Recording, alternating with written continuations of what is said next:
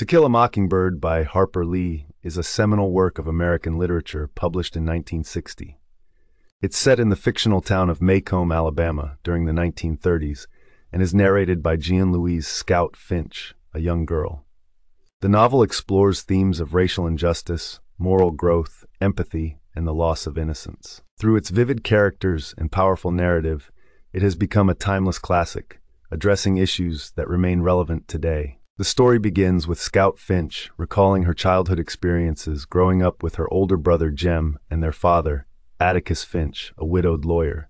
The Finch family lives in Maycomb, a small southern town deeply divided along racial lines. The children are fascinated by their reclusive neighbor, Arthur Boo Radley, who has been rumored to be a malevolent figure. As the narrative unfolds, Scout and Jem become embroiled in the complexities of their community, grappling with issues of race, class, and morality.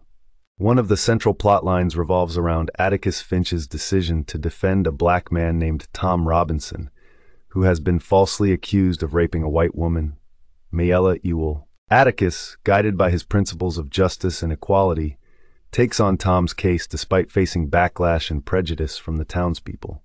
Through Atticus's defense of Tom Robinson, Lee highlights the pervasive racism and prejudice that existed in the southern United States during the 1930s.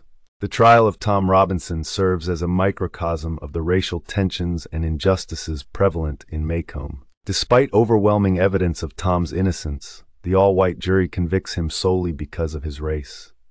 The verdict exposes the deep-seated prejudices ingrained in the legal system and society at large. Throughout the trial, Atticus imparts valuable lessons of empathy and integrity to his children, teaching them to stand up for what is right even in the face of adversity.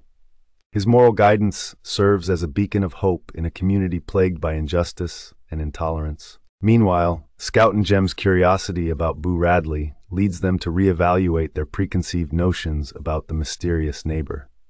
They come to understand Boo as a misunderstood and vulnerable individual, challenging the stereotypes perpetuated by the townspeople. The novel reaches its climax when Bob Ewell, the father of Mayella, seeks revenge against Atticus for defending Tom Robinson.